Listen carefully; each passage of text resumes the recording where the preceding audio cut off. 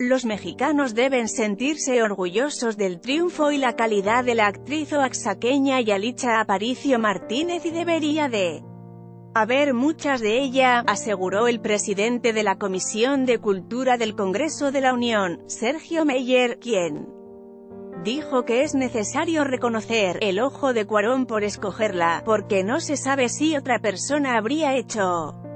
igual el personaje de Cleo en la película de Roma tras acudir como testigo de honor a la firma del convenio de colaboración entre el Consejo Regulador del Tequila y la Ruta, el realismo mágico de Juan, el ex cantante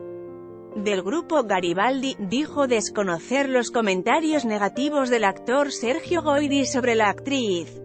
Prefirió no dar una opinión. No me consta que lo haya dicho y porque así se hacen los dimes y diretes del trabajo de la mexicana dijo que todos deben sentirse orgullosos de lo que está haciendo en el cine mexicano, hay que sentirnos orgullosos.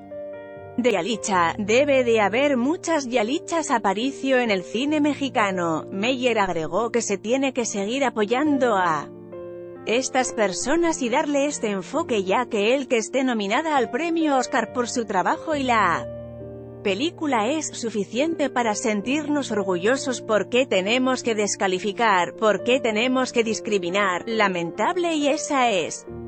parte de la cultura de algunos mexicanos, no podemos generalizar, en ese sentido también le dio el crédito al cineasta Alfonso Cuarón, quien tuvo el ojo clínico para escogerla, porque quién sabe si otra actriz lo haya podido hacer, hay que reconocer y él reconoció que ella le dio carácter a ese personaje. Gossip actrices se deslindan de supuesto chat contra Yalitza Aparicio.